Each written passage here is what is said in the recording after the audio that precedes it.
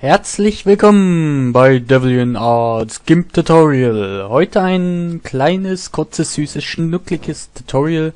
Und zwar geht es darum, dass äh, GIMP an Anfang etwas, äh, ja, ich möchte sagen, langweilig wirkt. Das Start, äh, äh, Start, ah, nein, so rum, jetzt natz mich nicht. Äh, das Startfensterchen ist ja jetzt nicht gerade sehr ansehnlich, äh, Wirkt etwas grau.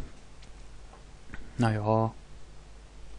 Um das zu ändern gibt es natürlich wie in fast jedem Programm Themes. Ähm, Themes sind Designs, gibt es auch bei Windows, die das Programm ein bisschen ansprechender machen oder es nach euren Wünschen gestalten lassen. Ja, aber jetzt, wo bekomme ich das her? Wie installiere ich das? Das ist doch bestimmt wieder extrem kompliziert und in irgendwelche Systemdateien. Nein, bei GIMP ist das ganz einfach. Ähm, dazu müsst ihr euren Webbrowser öffnen. Dann geht ihr auf, äh, gebt einfach ein gimper.net. Ist eine sehr große äh, GIMP-Community. Hier findet man viele Sachen, Hilfe. Sehr nice. Ähm, ja, falls ihr es... Ah, ne, Moment. Ihr habt es ja schon gesehen, ähm, ich habe jetzt hier oben auf den Hauptlink geklickt, dann seht ihr hier GIMP Themes Version 1.0 Windows bla. Ich werde euch den Direktlink natürlich direkt äh, in die Videobeschreibung packen, dass ihr nicht lange suchen müsst. Ist ganz einfach, ist eine Art Installer, der hat schon 15 Themes inklusive. Sind auch viele sehr gute dabei. Einfach äh, ich glaube, hier steht am Anfang Read and Download. Einfach draufklicken, dann hier auf dieses Kästchen. Öffnet sich dann die Speicherfunktion wieder. Yep. Dann können wir das schließen. Den Webbrowser können wir auch erstmal zumachen. Bekommen wir hier einen ZIP-Folder. Den entpacken wir einfach. Hierher entpacken. Bekommt eine Installation. Die startet ihr einfach ganz simpel auf Weiter installieren und bla. Sehr einfach, ja, Finish. Dann bekommt ihr normal ein äh, Icon auf dem Desktop. Ich habe das jetzt schon äh, installiert gehabt. Sieht dann so aus. Ich packe es euch mal hier hin. Können wir das eigentlich löschen oder packt es euch auf eine Festplatte, damit ihr es nicht nochmal runterladen müsst. Ja, weg damit. Das haben wir auch über Bord. Ab über die Reling. So, dann haben wir das einfach doppelklicken und dieses Fenster zeigt euch jetzt im Prinzip genau, wie der Theme dann aussehen wird, wenn ihr, wir fangen einfach mal oben an, ihn ändert. Ihr seht ja, ändert sich die Schrift und ein bisschen die Farbe. Ich mache das mal mit den Pfeiltasten. Schwarz finde ich sehr schön. Äh, ich glaube, das werde ich auch verwenden. Nur diesmal dieses hier, glaube ich. Dark Human gefällt mir sehr gut. Ja, und hier könnt ihr euch halt so ein bisschen durchgucken, durchklicken.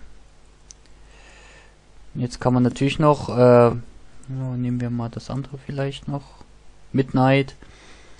Äh, kann man natürlich die Schrift noch einstellen, was für eine Schrift man hier haben möchte. Ihr könnt natürlich auch eure eigenen Schrift nehmen und so, ja. Also sehr viel einstellbar. Äh, Größe der Schrift, hier kann man noch viel mehr einstellen, äh, wie die Checkboxen aussehen, wie Radius und bla und alles mögliche könnt ihr einstellen, könnt ihr ein bisschen rumspielen. Obwohl die Standard-Themes, so wie sie sind, eigentlich schon recht gut sind. Äh, ich stelle hier vielleicht gerade mal auf äh, Areal, einfach der Videoqualität halber, weil äh, es liest sich einfach besser, wenn man es rendert, als diese geschwungene Schrift. Yep. Dann einfach nur noch, hier kann man auf Reset, ähm, kann man einfach wieder auf äh, Standard umstellen, abbrechen ist klar und okay. Fragt euch, ja, möchtet ihr das überschreiben? Dann sagt ihr ja und schon habt ihr ein neues GIMP. Schauen wir gleich mal rein. So, seht ihr schon, der Ladebalken ist anders.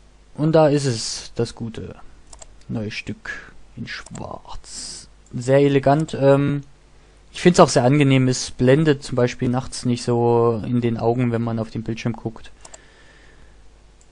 Man erkennt eigentlich auch alles gut, alles gut dargestellt, man kann alles gut lesen, auch wenn es nur hellgrau ist. Finde ich sehr schön, dieses schwarze elegant. ja, das sollte es eigentlich auch schon wieder gewesen sein.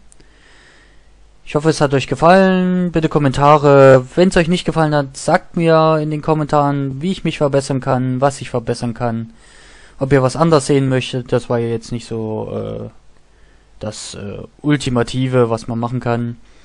Als nächstes hatte ich geplant einmal Maskenbilder, wie man Maskenbilder erstellt und Vintage-Effekte werden wir kurz durchprügeln. Ist ganz einfach, äh, macht viel her auf äh, Fotos oder so. Sieht sehr nice aus.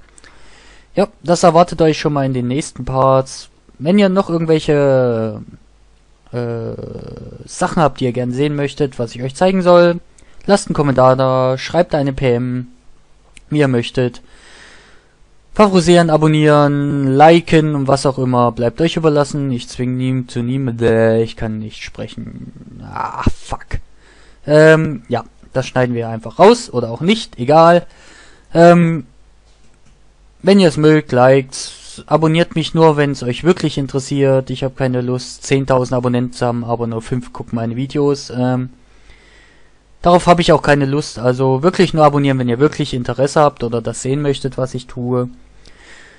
Äh, Kritik immer her damit. Äh, es bringt mich dazu, meine Videos und mich zu verbessern oder die Art und Weise, wie ich es euch zeige. Ich hoffe, es gefällt euch im Moment noch. Ja, das war's von Deviant Arts GIMP Tutorials für heute. Das nächste Mal sehen wir uns mit Masks, also Masken, und danach Vintage und danach dem, was auch immer ihr möchtet oder was mir gerade einfällt. Jo, reingehauen, weiterschauen. Ciao, hier war der Moon Devil.